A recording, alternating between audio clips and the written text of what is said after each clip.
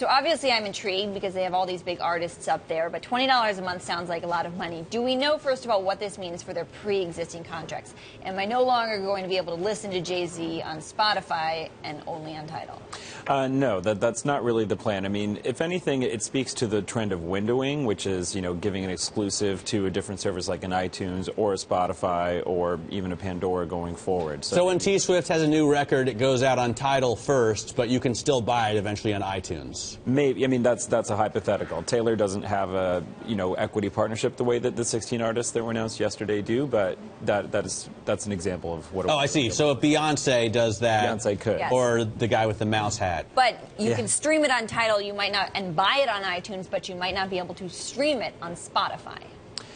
Potentially. So, for example, Rihanna released a new single last week. She's one of the partners of Tidal. You can't stream it on Spotify, but you can stream it exclusively on Tidal. You can also buy it on iTunes. So, it's also yeah. going to be uh, a, a, race for behaviors. Like, do people want to continue downloading? Do they want to stream it? You can also, of course, stream it offline, so you could add it to a playlist and take it with you wherever you go. So, Matt mentioned Taylor Swift. She was conspicuously absent among the stars on the stage there. Everybody from Usher to Madonna to Nicki Minaj, Rihanna. Uh, truly an incredible lineup. There are stories this morning about how Johnny.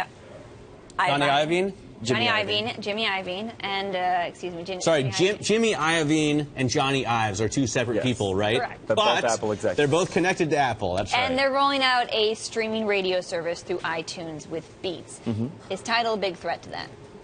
Uh, I think that, well, Jay said himself when we spoke to him on Friday that, uh, you know, there's already a little behind the scenes uh, bidding war with, with artists uh, that he was talking to, that Jimmy's also talking to for this forthcoming relaunch. So, yeah, I think they are going to compete with each other. The idea is that the relaunch of Beats is also going to be a premium only, subscription only service, probably closer to the $9.99 tier that um, Tidal also offers in addition to the 19.99 high definition But tier. Beats isn't going to give its artists equity in the platform.